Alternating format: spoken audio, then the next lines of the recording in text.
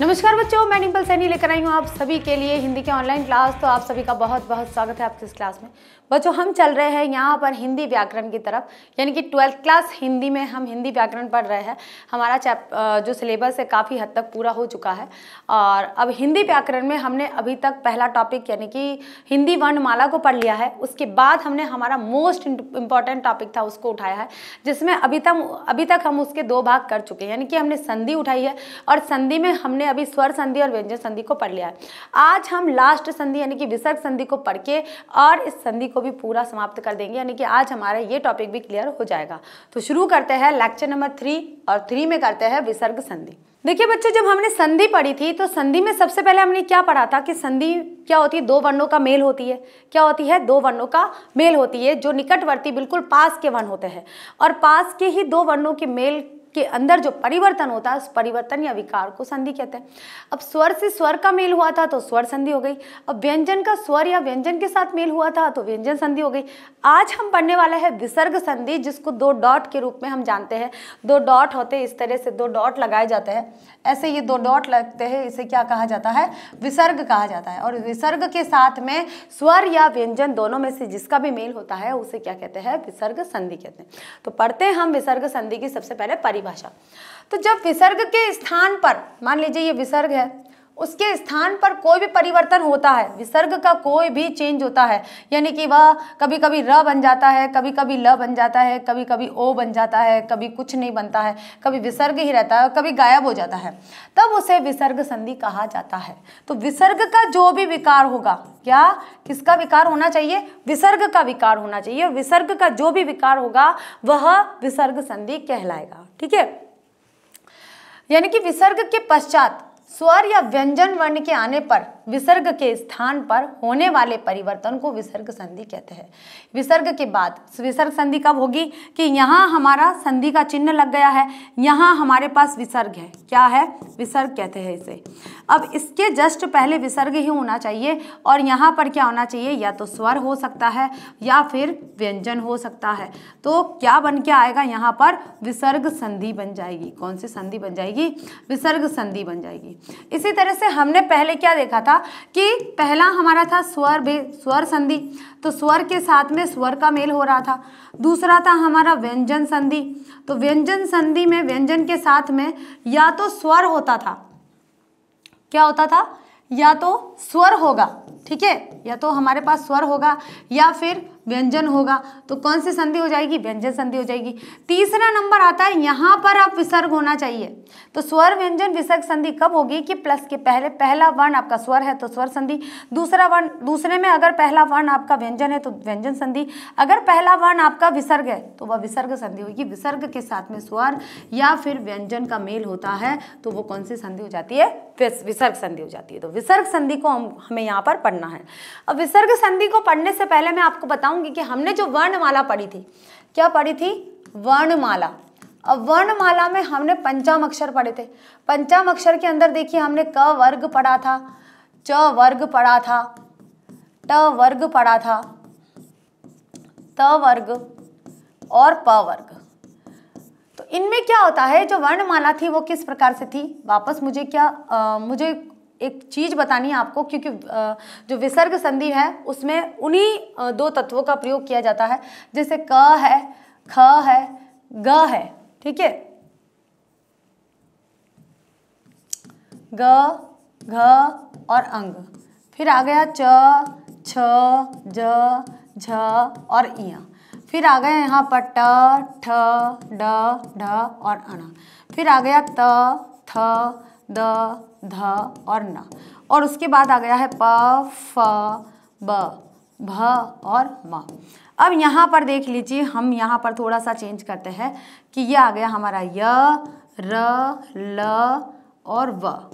फिर य, र, ल, व और ह। ठीक है? अब देखिए क्या हो रहा है यहाँ पर कि हमने देखा कि ये क्या है? पहला, दूसरा, तीसरा, चौथा, पांचवा, इस तरह से रूप ले लिया है। हमारे पास यहाँ पर वर्णों के दो प्रकार भी होते हैं, घोष के अनुसार। क्या? वर्णों के प्रकार घोष के अनुसार। घोष क्या होता है? आवाज़। कि सघोष होते हैं और अघोष होते हैं। सघोष, एक तो वर्ण, एक तो सघोष प्रकार का होता है। एक अघोष प्रकार का होता है। कौन सा होता है? अघोष। जिसके अंदर घोष होता है। घोष क्या होता है? एक प्रकार का नाद होता है। नाद यानी कि एक अजीब सा एक स्वर होता है। एक रिदम जैसा आता है, ठीक है? जिसे क्या बोलते हैं? घोष बोलते हैं। और घोष में सघोष, जिसके अंदर घोष है, यानी कि वो सघोष है, और जिसके अंदर घोष यानी कि नाद या कोई स्वर नहीं है, वो क्या हो गया है? अघोष हो गया है।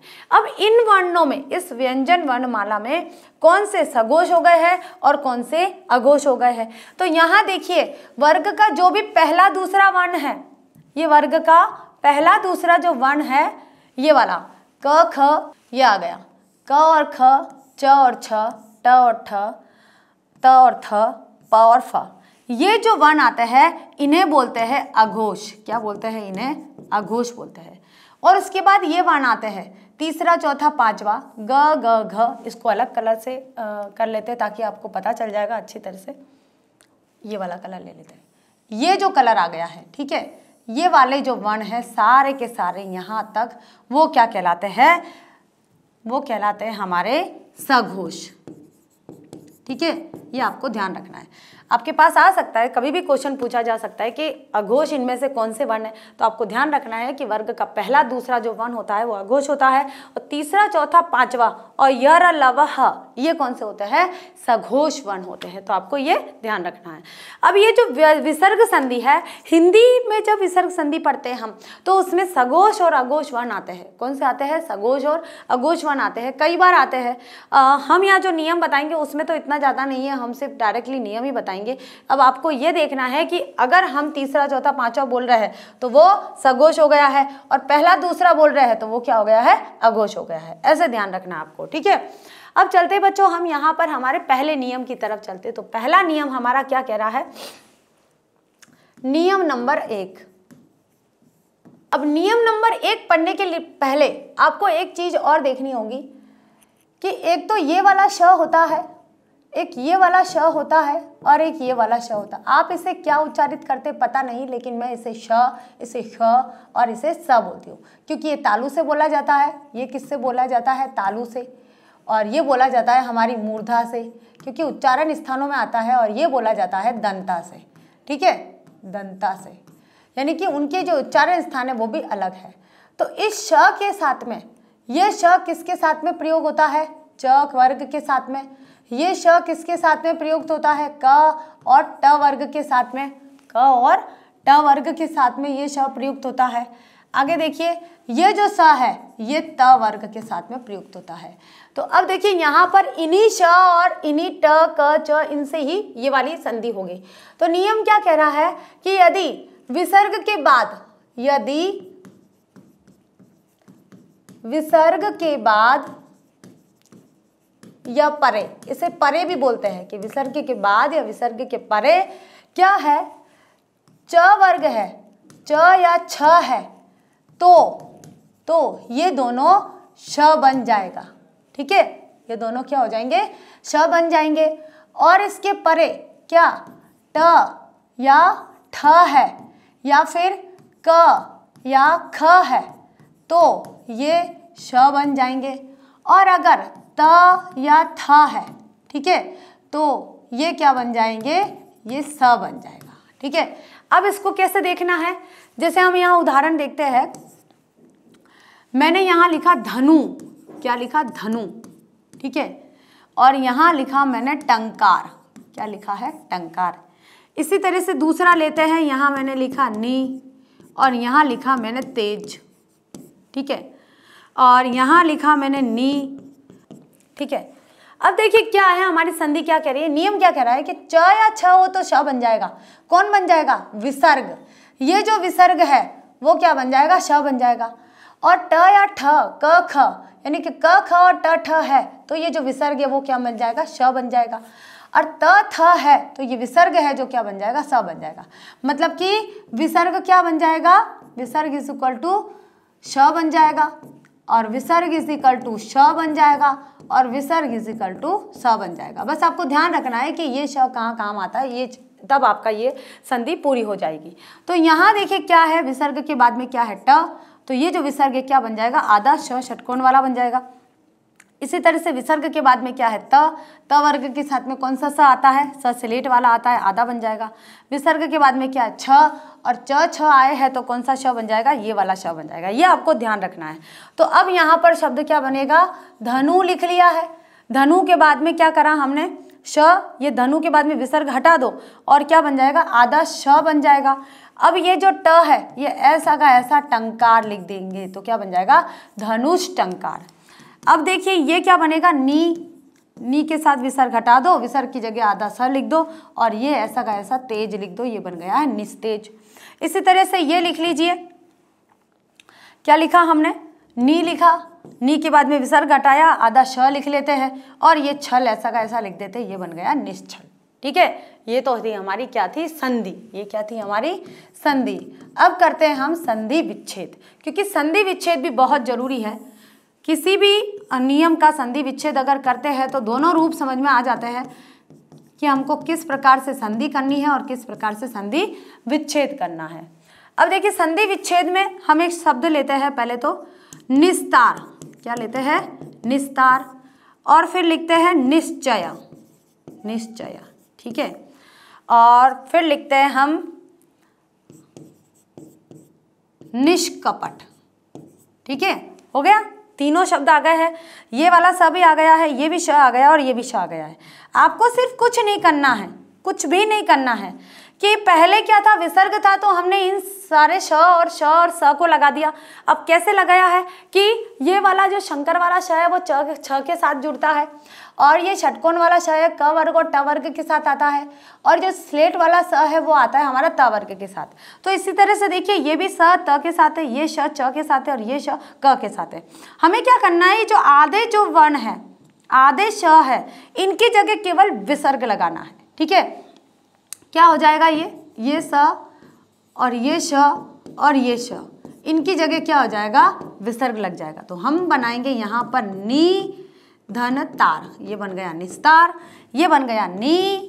आधे श को विसर्ग बना दो और ये बन गया हमारा चय, निश्चय। अब बना है हमारा नी और प्लस यहाँ बन गया हमारा कपट। तो ये बन गया है निष्कपट, ठीक है? तो संधि भी हो गई है और संधि विच्छेद भी हो गया है। आगे चलते हैं बच्चों, अगली संधि, अगला नियम हमारा आता है। नियम नंबर दो। नियम नंबर दो आता है। नियम नंबर दो कह रहा है कि यदि यदि विसर्ग के पहले, यदि विसर्ग के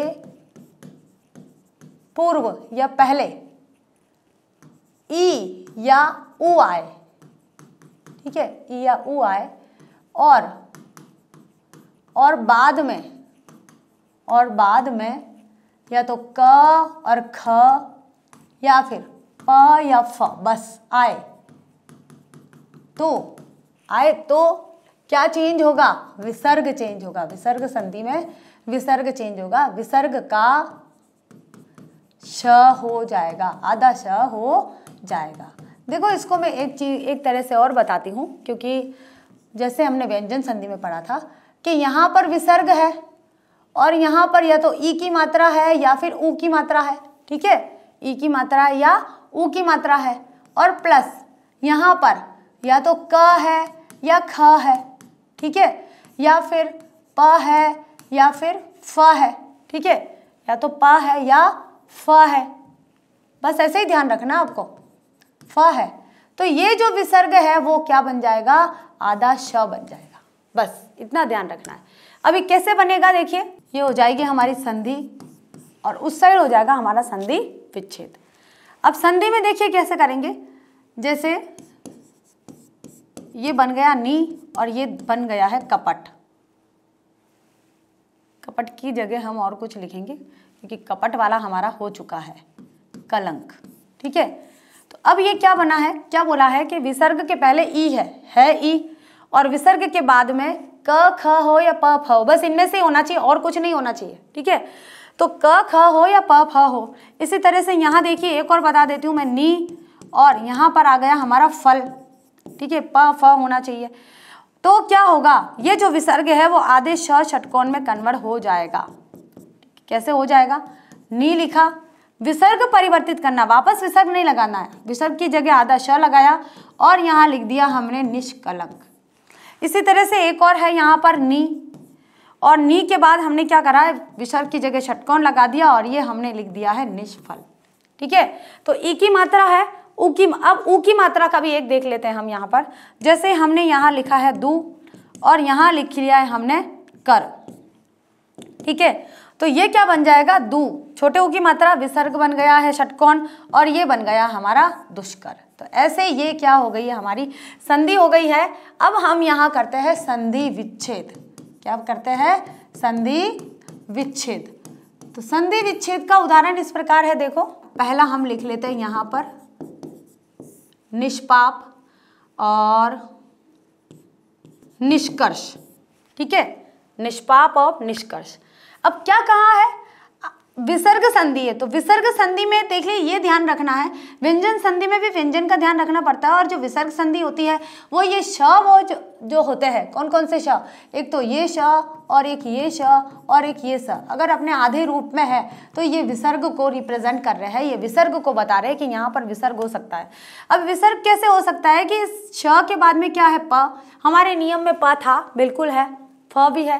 और श के बाद में क्या है क? हमारे नियम में क और ख भी था। बस ऐसे ही आएगा। ऐसे ही आएगा आपका, और कुछ नहीं आएगा, ठीक है? तो अगर प और क दोनों है तो ये जो षटकोण है, ये क्या बन जाएगा? विसर्ग बन जाएगा। तो हमारे पास क्या आ जाएगा? ये षटकोण की जगह हम क्या बना लेंगे? निही ये विसर्ग लग गया है। और पाप, ऐसा का ऐसा लिख दो। ऐसे ही ये बन गया है निही नी था पहले, अब निही बन गया है। और ये बन गया हमारा कर्ष। क्या बन गया है? कर्ष ये हो गया है निष्कर्ष। तो संधि भी हो गई है और संधि विच्छेद भी हो गया है। अब चलते बच्चों हमारे अगले नियम की तरफ़। नियम नंबर तीन। नियम नंबर तीन। देखिए, नियम नंबर तीन क्या कह रहा है? कि यदि ई, यानी कि छोटी मात्रा, या फिर ऊ, यानी कि ये भी छोटी मात्रा, ठीक है, हो, विसर्ग के पहले ई या ऊ हो। और और बाद में, और बाद में र हो। ठीक है? र हो तो विसर्ग। जो विसर्ग है, विसर्ग के पहले जो ई या ऊ है तो विसर्ग नहीं, विसर्ग चेंज हो जाएगा। ठीक है? विसर्ग का तो तो ई और ऊ, यानी कि ई और ऊ, किसमें बदल जाएँगे? बड़ी ई और बड़े ऊ में बदल जाएँगे। ठीक है? मैं बदल जाएँगे। मैं अपनी भाषा में ही लिखवा रही हूँ आप सबको। बदल जाएँगे और विसर्ग का लोप हो जाएगा। और विसर्ग, लोप का मतलब छुप जाएगा। विसर्ग का लोप हो जाएगा। लोप का मतलब आप समझ लेना, लोप हो जाएगा कि ये हट जाएगा, ठीक है? विसर्ग दिखेगा ही नहीं। कैसे? जैसे यहाँ पर हम संधि करते हैं और यहाँ हम संधि विच्छेद करेंगे। पहले हम संधि करते हैं। तो ये हमारी हो गई यहाँ संधि। पहला आ गया है हमारा नी धन रव, ठीक है? ऐसे ही आ गया है हमारा नी धन रोग। ऐसे ही आएगा, र शब्द ही आएगा पीछे से। एक और आ गया है हमारा यहाँ दू, धन, राज। ठीक है? अब क्या बोला है कि छोटी ई और छोटा ऊ है? तो यहाँ पर छोटी ई और छोटे ऊ की मात्रा दिखाई दे रही है, बिल्कुल दिखाई दे रही है। और वो विसर्ग के पहले ही दिखाई दे रही है, विसर्ग के बाद नहीं है। और विसर्ग के बाद क्या आना चाहिए? र। ये रहा हमारा र, ये तीनों र है। तो क्या कहा है कि र तो ऐसे कैसे ही रहेंगे। यहाँ पर विस, ये जो छोटी ई और छोटा ऊ है, वो क्या बन जाएँगे? बड़ी ई और बड़ा ऊ बड़ी ई और बड़ा ऊ बन जाएँगे और ये जो विसर्ग है, वो लुप्त हो जाएगा। कैसे लुप्त हो जाएगा? ये बन गया हमारा नी और ये बन गया हमारा रव। तो नीरव नीरव बन गया। दूसरा बन जाएगा हमारा, ये बड़ी ई बन गया, ये नी और ये हो गया है रोग, क्योंकि हमारा जो विसर्ग है वो लुप्त हो गया है। इसी तरह से ये बन गया है हमारा दू और ये बन गया हमारा राज तो दुराज। तो नी धन रव, निरव, नी धन रोग, निरोग और दू धन राज दुराज हो गया है, ठीक है? तो ये तो हो गई हमारी संधि। अब करते हैं हम यहाँ पर संधि विच्छेद। तो संधि विच्छेद के भी एक दो उदाहरण कर लेंगे। उससे क्या पता चल जाता है कि हमें संधि विच्छेद विच्छेद कैसे करना है, ठीक है? तो देखिए, इसका संधि विच्छेद का एक उदाहरण लेते हैं। हम यहाँ पर लेते हैं नीरस। ठीक है? और नीरज। ठीक है? तो ले लिया। अब यहाँ करते हैं हम नीरस में क्या करेंगे? र है।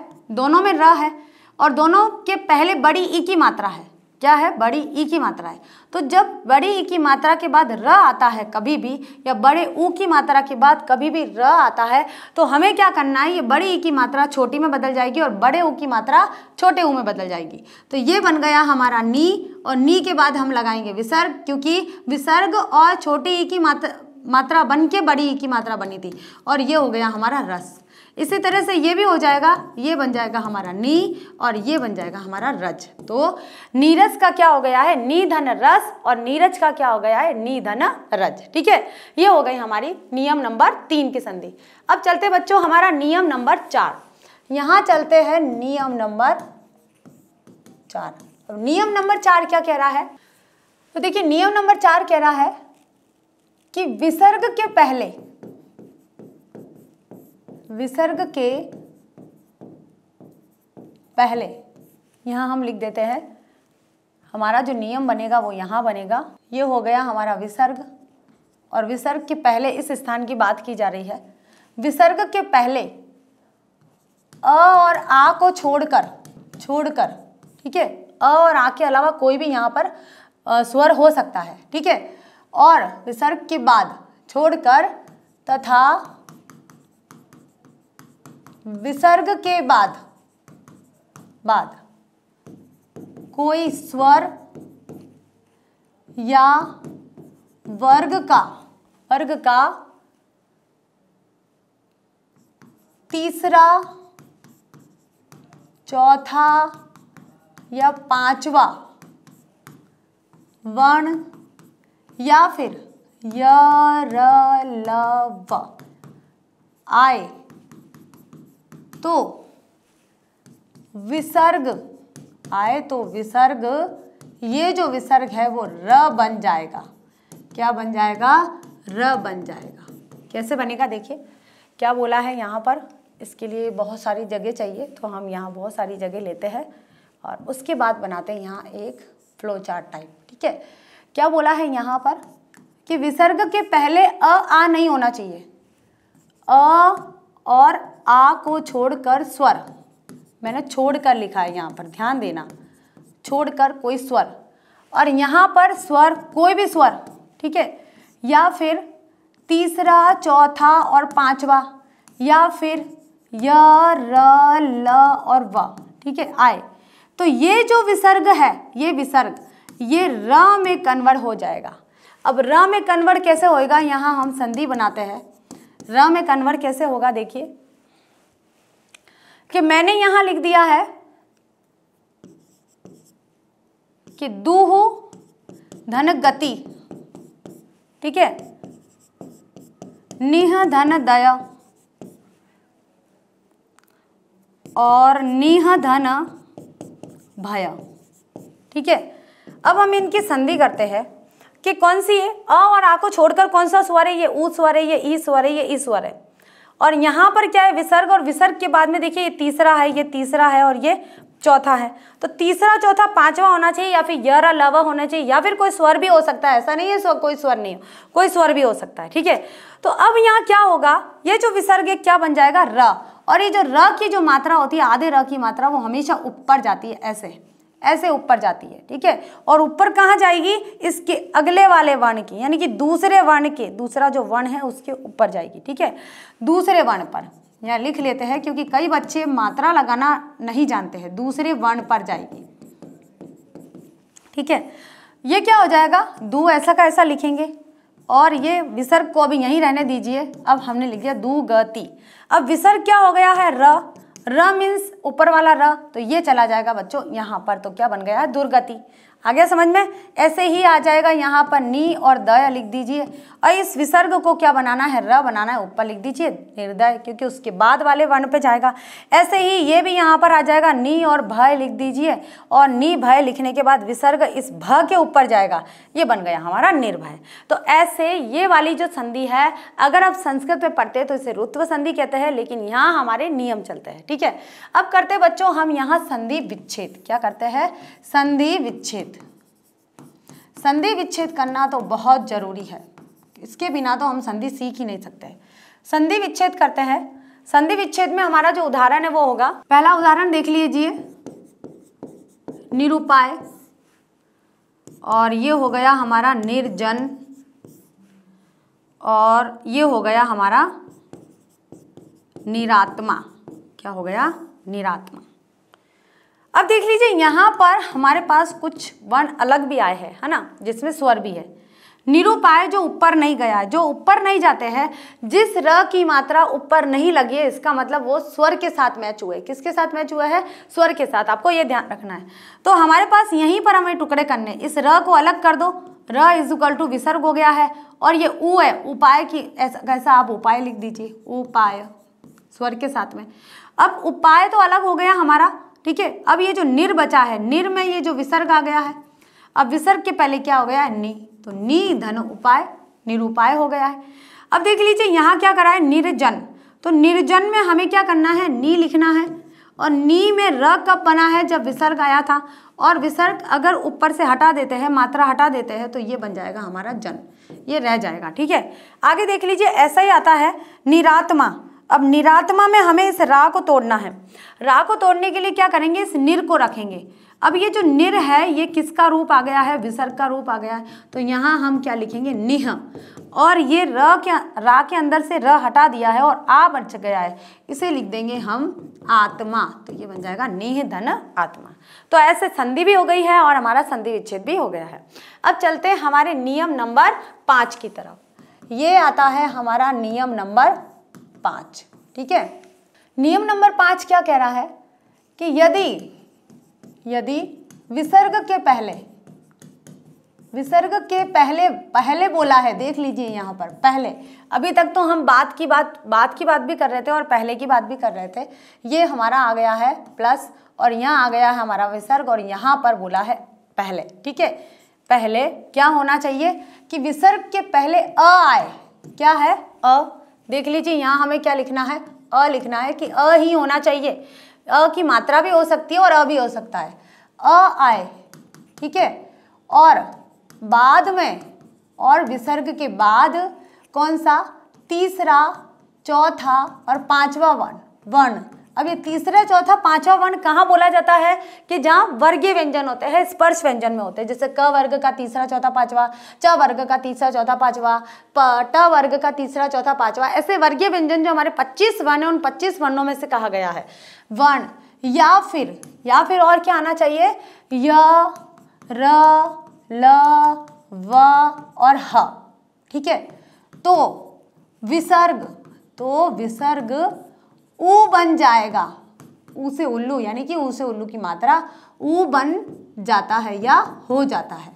ठीक है, अब क्या करेंगे? यहाँ पर हम लिखेंगे हमारा नियम कि यहाँ पर तो विसर्ग विसर्ग के पहले अ है और यहाँ पर तीसरा, चौथा और पांचवा वर्ण है, या फिर य, र, ल, व और ह है। इनमें से कोई वर्ण है। ठीक है तो ये जो विसर्ग है वो क्या बन जाएगा? ऊ बन जाएगा। ऊ क्या है एक तरह का?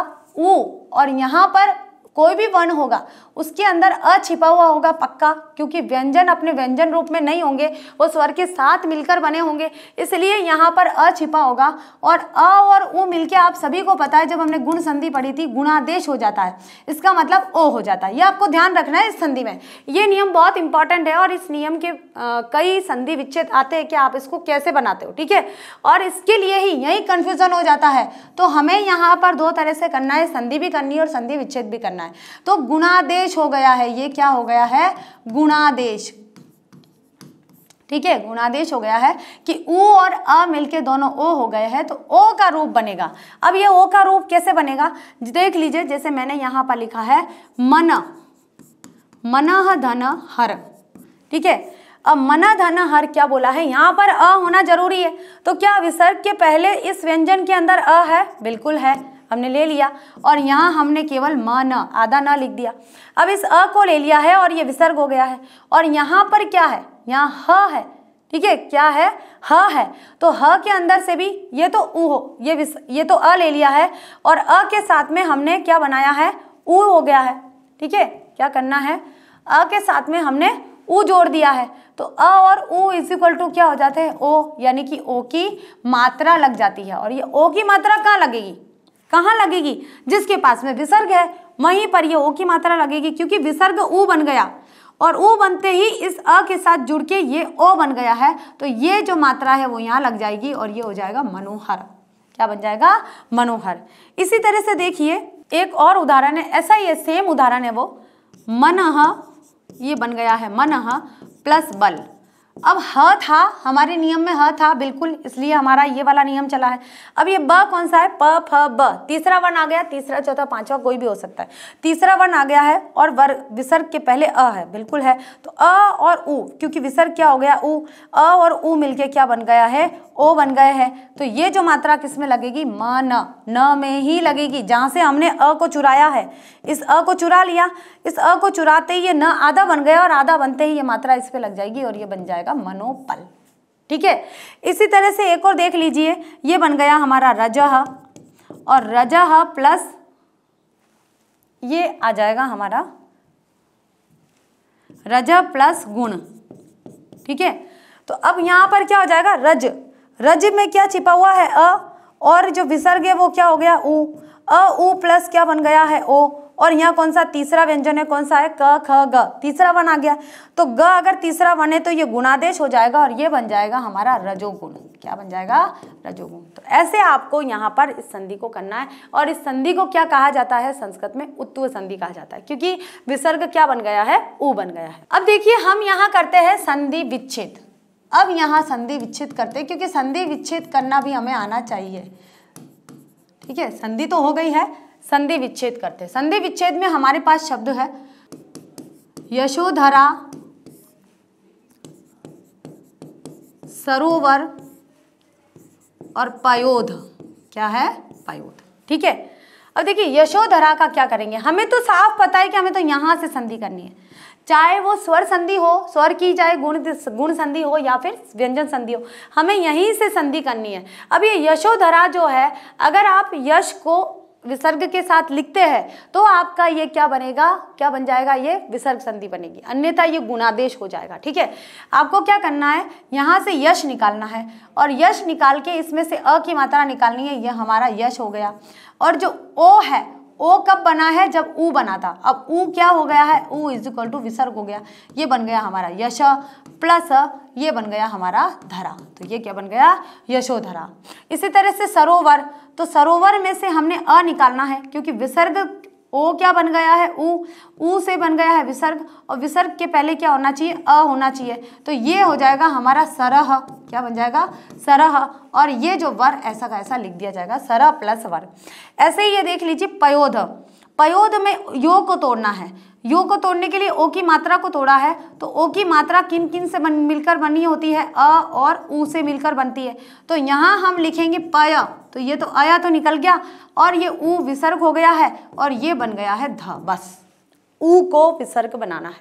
तो ये हो गया हमारी संधि, और ये हो गया हमारा संधि विच्छेद। ये संधि है, हमने लिखा नहीं था। ये हो गया, ठीक है? तो अब तक पाँच नियम हो चुके हैं संधि विच्छेद के भी। आगे चलते बच्चों, हमारा नियम नंबर छह। देखिए, नियम नंबर छह में एक है कि विसर्ग के बाद हम इसको डायरेक्टली ही लिख देते हैं, नियम से ही बना देते हैं कि पहला नियम, छह का पहला नियम क्या है? कि यहाँ पर हमारा विसर्ग हो गया और विसर्ग के बाद क या ख है या फिर प या फ है, ठीक है? ठीक है? तो ये जो विसर्ग है, वो ऐसा का ऐसा रहता है, वो चेंज नहीं होता है। कैसे चेंज नहीं होता है? हमने यहाँ लिखा है अंत प्लस करण। तो अंतकरण का क्या हो जाएगा? क्या बोल रहा है? विसर्ग के बाद क या ख, फ या फ हो। तो अंतकरण ऐसा का ऐसा आ जाएगा। क्यों आएगा? क्योंकि विसर्ग का कुछ भी नहीं होता है, इसमें कोई प्रतिफल नहीं होता, ऐसा का ऐसा रहता है। ठीक है? और करण। ठीक है? ऐसे ही जैसे प्रातः प्लस काल तो ये हो जाएगा प्रातः काल ऐसा का ऐसा लिखा जाएगा प्रातः काल ठीक है? ये तो था हमारा पहला नियम। अब आता है हमारा दूसरा नियम। दूसरा नियम किस, किसका? छठे का ही, हमारे छठे का ही दूसरा नियम आता है। यहाँ तो आ जाएगा कि विसर्ग नहीं हटेगा। ठीक है? तो विसर्ग वहीं रहेगा। अब दूसरा नियम यह है कि विसर्ग के बाद कोई भी स्वर आता है ठीक है? कोई भी स्वर आता है तो जो विसर्ग है, जो विसर्ग है, वह लोप हो जाएगा, यानी कि लुप्त तो हो जाएगा। अब कैसे लुप्त तो हो जाएगा? देखो इसके लिए विलुप्त तो कैसे होगा? कि जैसे हमने यहाँ लिखा है, अतः धन एव।